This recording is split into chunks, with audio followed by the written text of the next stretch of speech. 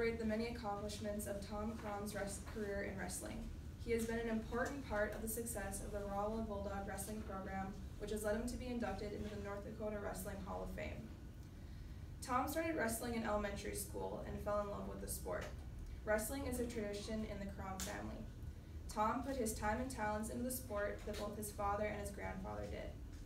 He made the varsity team by the time he was a seventh grader. Over his six years of high school varsity wrestling, he spent countless hours in the weight room and on the mat practicing, working like a horse. These hours of hard work and dedication led him to be a five time place winner.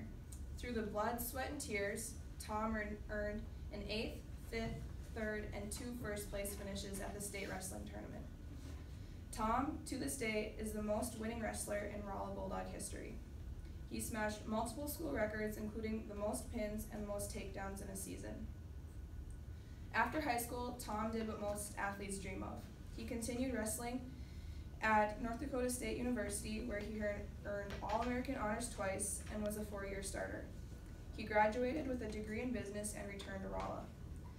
He got married to Tootie Crom and had three kids two daughters and one son.